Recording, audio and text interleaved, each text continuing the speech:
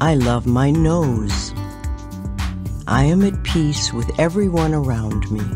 No person, place, or thing has any power over me. I am the power and authority in my world. I choose the thoughts that recognize my own true worth. I recognize my own intuitive ability.